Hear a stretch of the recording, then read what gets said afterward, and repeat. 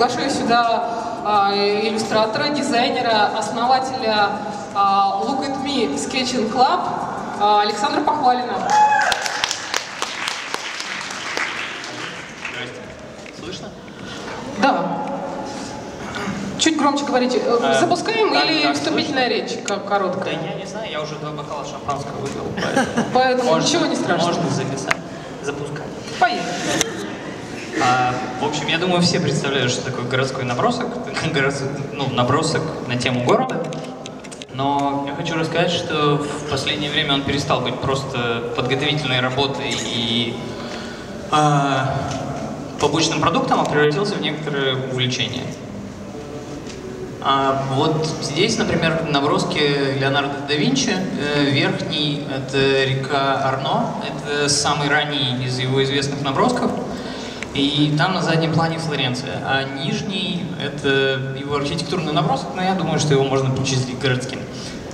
А, это наброски Репина. Э, Вот тот, который слева, это тоже самая ранняя известная его работа.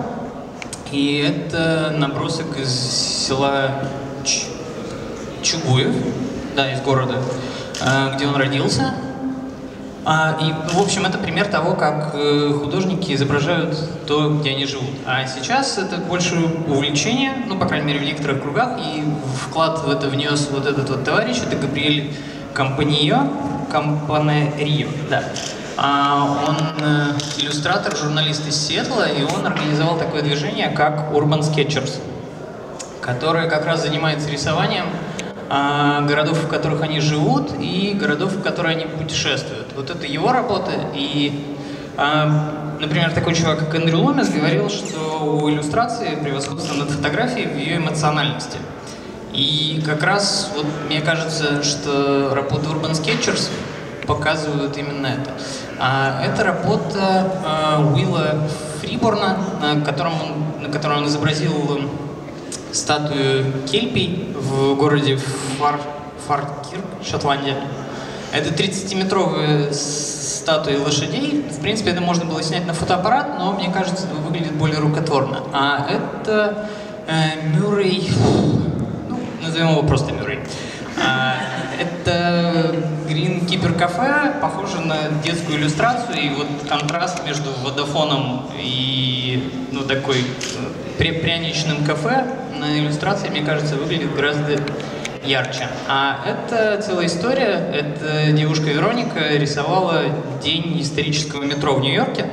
Они там каждый год запускают э, состав э, из старых вагонов, но в том числе люди переодеваются, на платформах играет свинг, джаз, и очень важно здесь э, обратить внимание на детали, потому что времени на рисование там не очень много. Например, вот женщина с огромными ресницами, и там Вероника пишет, что ее очень заинтересовали шляпки у этих своеобразных косплееров, которые одеваются в стиле 30-х. А, а вот на следующем слайде да, а вот э, мужчина, который находится в, центре, она пишет про него, что он был одет в военную форму и весь обвешан орденами, но они с подругой не смогли определить, э, к какому роду войск он относится. А, Кроме Urban Sketchers, я еще хочу рассказать про своего кумира, который на рисовании скетчей собаку съел. Это кореец Ким Юнг Джи. А, у него все работы, они вот такие вот супер детализированные, э, с огромным количеством персонажей. И э, одна из особенностей как раз э, урбан скетчинга такого э, в том, что это развивает э, вокабуляр визуальный. Вот. И здесь видно, что он выбирает совершенно разные темы для рисования. Но большую часть работы он рисует по памяти, а то, что он рисовал на натуре, э, можно узнать как раз вот по блокноту и рукам. Вот это тоже его работы. Э, Здесь, э, ну тоже, опять же, вариативность тем. То есть это от каких-то кафе до, до музеев, до каких-то исторических мест. Ну, у, у нас, на самом деле, это течение тоже получает некоторое развитие. Поэтому, вот, например, Аня Егида, которая называет себя исследователем с карандашом, Она вообще, в принципе, из всех своих путешествий приводит прямо горы скетчей и рисунков. У нее даже там вы, выставки. И посмотрите, как она показывает за счет э, техники разные настроения. Вот слева, справа это был Лондон, а слева и вот здесь это Таллин. То есть э, в одном случае это более графичная какая-то история, в другом более яркая, более цветная. И у нее задача как раз как можно быстрее поймать настроение момента.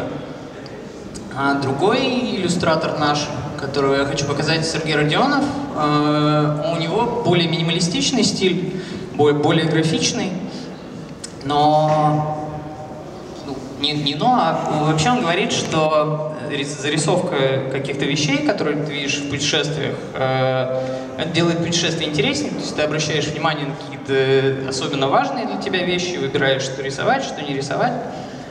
Ну, вот, например, вверху это, вот перед этим был Питер, вверху это э, Львов, кажется, а внизу Харьков. Или наоборот. Наоборот.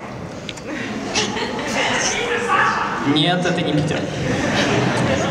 А я, собственно, они вместе со мной участвуют в такой вещи, как Lam Sketching Club, а, и, собственно, я так попал в эту историю, потому что я изначально организовал это сборище для людей, которые просто любят рисовать, потом это все в итоге переросло в какую-то городскую тему. Вот, э, например, левый набросок — это задние дворы Красного Октября, которые я никогда бы не узнал, что они такие красивые, если бы не пошли туда рисовать. А вот, э, или, например, Метрополь. Метрополь я вообще нарисовал случайно, потому что ехал просто мимо и на 40 минут залип, рисуя скетч. И когда рисуешь, ты просто по-другому относишься к э, окружающей среде, ты обращаешь внимание на другие детали, начинаешь более внимательно это изучать. И, ну, мне кажется, что в этом как раз заключается интерес э, городского рисунка не как ученическая история, а как именно форма познания города.